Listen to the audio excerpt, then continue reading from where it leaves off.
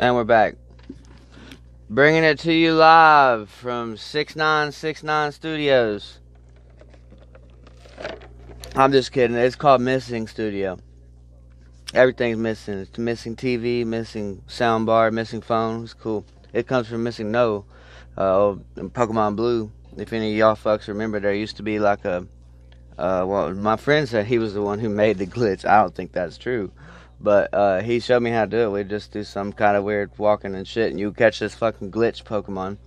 They're like, I don't know if it was really designed by the game or what, but it was in every one of the games. It was fucking crazy looking, and it would er- sometimes it would fucking erase your whole game and like fuck up all your shit. Like if it didn't erase your game, it's it was horrible what it did after all that work, and you could only get to it like at the end or like close to the end of the game. So yeah, that fucking thing uh, was cool as hell. So it was called Missing No uh, like as in number with a dot. Fucking so, yeah. That's what my studio and shit is. my name, uh, stage name I want to go by, I call it a pen name though, uh, is Anti because it's like kind of like anti-evil. It's kind of that kind of vibe. I feel like um, paradox. You know, everything, every every action has an equal and opposite reaction, and I think that like that's probably the the most godly thing a human has ever come up with or written.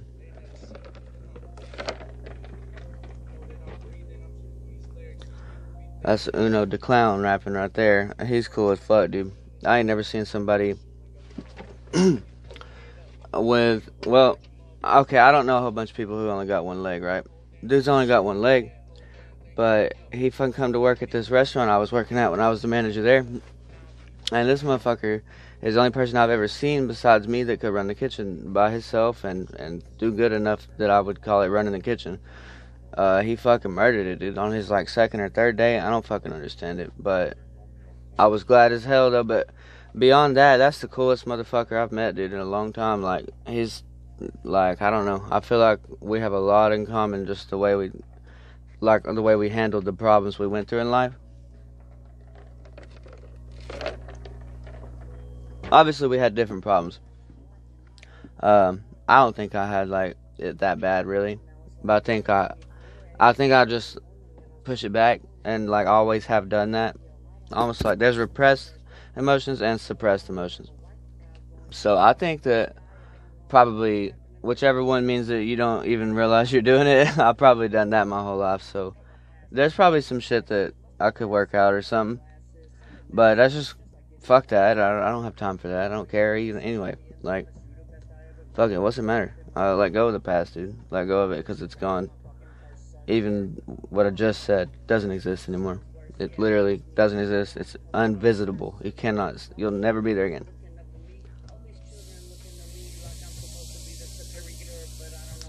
But don't get me started talking about time.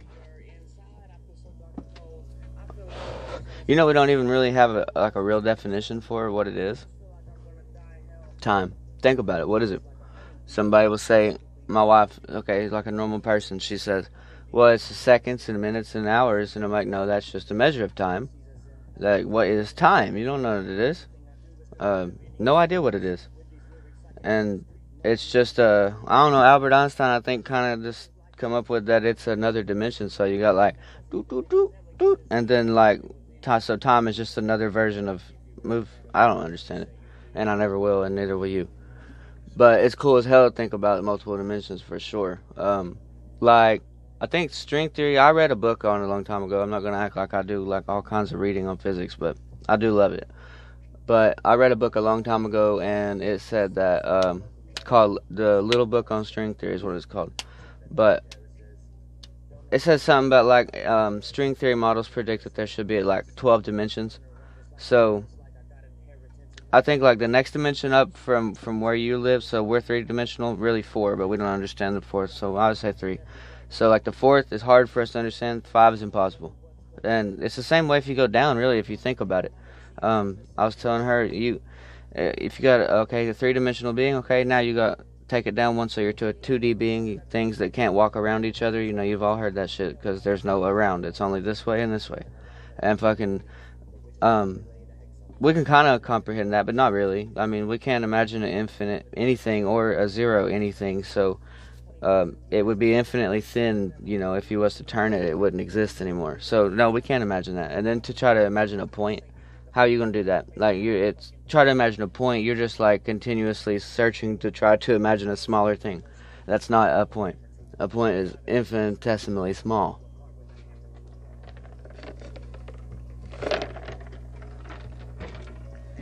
So it's amazing how much shit we don't know. That's one thing I guess I would want to talk about. Like, kind of the thing I want to kind of bring to bear with my music. I want people to, I don't know if the word is be humbled or just be scientific about it or think, just just stop thinking that you're the center of anything. You're not. There's no center, and it's damn sure not you or anything that you could guess. Like, and I don't mean like the center of the universe and space or anything. I just mean that there is. Out of say say all of humankind throughout all history, we have only learned a hundred things. Say that, okay? So all of knowledge and college and everything, a hundred things. Okay, I think we might know like maybe one of those things to be true, maybe, um, and could you know prove it. And even if you can prove something to be true, if our fucking viewpoint is flawed, which if that's po- okay, so imagine that it's possible that we have a skewed viewpoint. Uh, um, we don't observe things in the way that say God would observe them, the Creator would observe them, and I guess that would be the one that you would consider the most accurate, right? So if we have a flawed viewpoint, then even if we can prove something to be true by the way our simple brain understands it, um, then even that still may not even be right. We may not understand anything. Um, I don't know. I just it blows my mind sometimes when people say something like it's a fact, like motherfucker, shut up. It's arrogant as hell. I mean, I'm an arrogant motherfucker too. So for me to have a problem with that, it's an issue. But you're like besmirching science. I don't see any reason why a scientist and a Christian would argue. Or, well, I mean, really any other religion, but I just don't. I'm a Christian, and that's what I believe is, is right, and that's for everybody. I don't believe that it's right just for me. Um, so I don't mean it like that, but for me, science answers how, and religion answers why. Um, if you look back at all the theories that's ever been proposed, you'll see that that's uh, a general statement, but it's true. Because, like, say the Big Bang, for instance, we have no idea that that really happened. Um, it makes sense because we see the universe is getting bigger. Uh, simplistically, we see the universe getting bigger, so we assumed yesterday it was smaller. First of all, that's fucked up because how do you know that? It's you're talking about the expansion of space and time. How how are you gonna call that smaller? That don't make sense. And then to say that because it's getting smaller, it must have been at one point at some point in time. Uh, okay, that's also flawed because how the fuck do you know that? If it's getting smaller and it's still getting bigger, if it's getting smaller going back in time, then it could just have been getting smaller forever or whatever ever is. Uh, you know, so I don't know. It kind of makes sense. I don't have a better idea, but uh, that would answer how it happened. If we was to discover that that was true, then we would know how it happened. We would not know why it happened. Still, we would not know why it happened. So for a scientist to kind of just jump across the lines there and say that, well, we know how it happened, so there's no God. That's not even a cause and effect. I don't understand that. Um, and then religion, you know, they some people because mainly because religion was here first, Christianity was here first. So for the um, Christians to be calling uh, science the devil and everything like that, it's probably because they uh, are working for the devil, most likely. Um, and that doesn't mean that they necessarily know it or believe in him. That would be the easiest way to trick somebody, would be to have them not even think you really exist, right? Because then it'd be pretty fucking easy to sneak up on them, right?